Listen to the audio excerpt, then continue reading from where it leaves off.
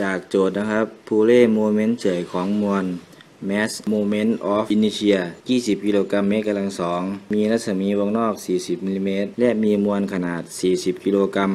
ของด้วยเส้นเชือกดังรูป ถ้าระบบเริ่มต้นจากจุดหยุดนิ่ง ที่จุดหมุนของพูเล่ไม่มีความเสียดทาน จงหาความเร็วเชิงมุมของพูเล่เมื่อมวลขนาด 40 กิโลกรัมตกลงในแนวดิ่งได้ 2 วินาที จากจุด G มีรัศมี วงนอกคือ R นะครับ เราจะเขียนฟรีบอดี้ได้ดังนี้ครับ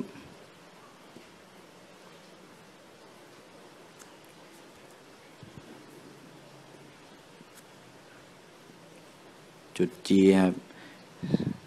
เส้นเชือกมวล40 กิโลกรัม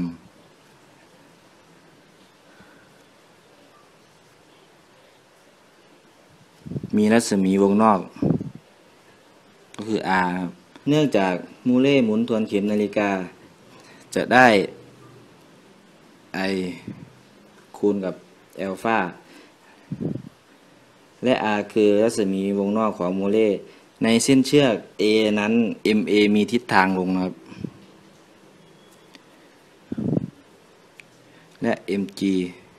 มีทิศทางลงครับ หาความเร็ว เชิงมุมของมูเล่เมื่อ t เท่ากับ 2 วินาทีครับ จากสมการ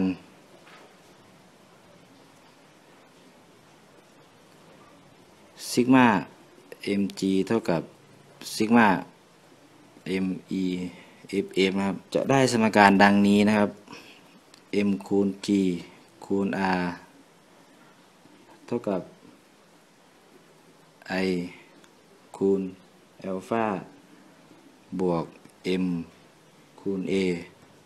คูณ r จัดรูปสมการใหม่เราจะได้ดังนี้นะครับ m คูณ g คูณ r เท่ากับ i คูณอัลฟา บวก m คูณเอลฟาคูณ r กำลังสองเนื่องจากว่า a นะครับ เท่ากับเอลฟาคูณ r นะครับ ถึงได้ออกมาในรูปแบบนี้นะครับ จากนั้นดึงตัวร่วมของสมการออกมาจะได้ m คูณ g คูณ r เท่ากับ i บวก m คูณ r กำลังสองในวงเล็บ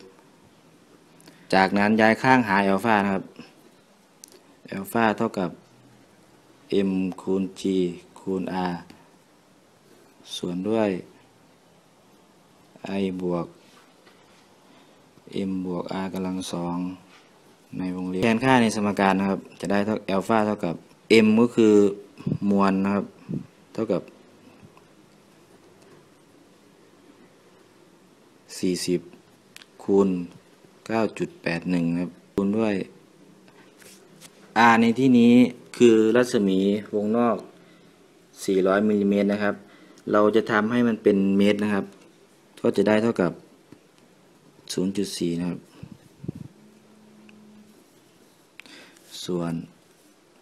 i ในที่นี้ โจทย์เขาให้มา 20 กิโลกรัมเมตรกำลังสองนะครับ มวลก็เท่ากับ 40นะครับ40 กิโลกรัม คูณรัศมีวงนอกนะครับ เท่ากับ 0.4กำลังสองครับจากนั้นกดเครื่องคิดเลขออกมาได้เท่ากับเท่ากับ 5.945 เรเดียนต่อวินาทีนะครับ หลังจากเราได้ค่าเอลฟาแล้วเราจะหาค่าโอเมก้านะครับ โอเมก้าเท่ากับเอลฟาคูณ t บวกโอเมก้าศูนย์นะครับ เราจะแทนค่าลงในสมการนะครับ เท่ากับ 5.945 คูณ 2 บวก0นะครับ เนื่องจากเริ่มต้นจากจุดหยุดนิ่ง จึงทำให้โอเมก้ามีค่าเท่ากับ 0 นะครับ จากนั้นเรากดเครื่องคิดเลขออกมา เราก็จะได้เท่ากับ 11.89 เรเดียน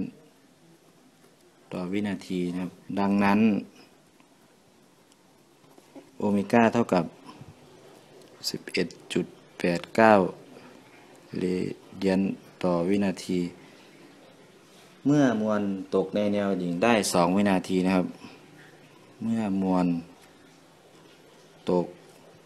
ลงในแนวดิ่ง ได้ 2 วินาที